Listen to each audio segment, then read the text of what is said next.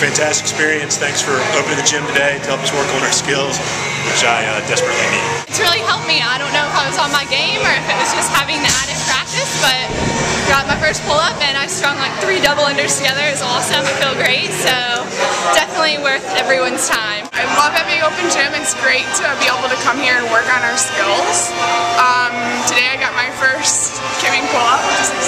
Exciting. gym is a great idea. Got to come in and work on your weaknesses or improve your strengths. I did butterflies for the first time, a couple of muscle ups. We're actually fixing to do just a mini wide. Great idea. Wish we keep this up, keep practicing, getting better. I think the open gym's great. It gives everybody a chance to do a lot of different stuff, work on a lot of different things.